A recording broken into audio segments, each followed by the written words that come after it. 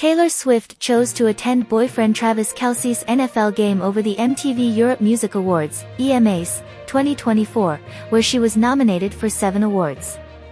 On November 10, Swift, 34, appeared at Arrowhead Stadium wearing a stylish two-piece check tweed suit and black corset to support Kelce as his team, the Kansas City Chiefs, played against the Denver Broncos. Swift's decision to skip the EMAs in Manchester, hosted by Rita Ora, surprised fans who anticipated her presence. With seven nominations, including Best Artist, Best Live, Best Pop, and Biggest Fans, many expected Swift to attend, possibly announcing Reputation, Taylor's version. Her absence stirred disappointment online. One fan tweeted, so Taylor's not going to the EMAs? Wow. Another wondered why she prioritized the game over announcing new music. Some fans attending the EMAs were disappointed upon realizing she wouldn't be there.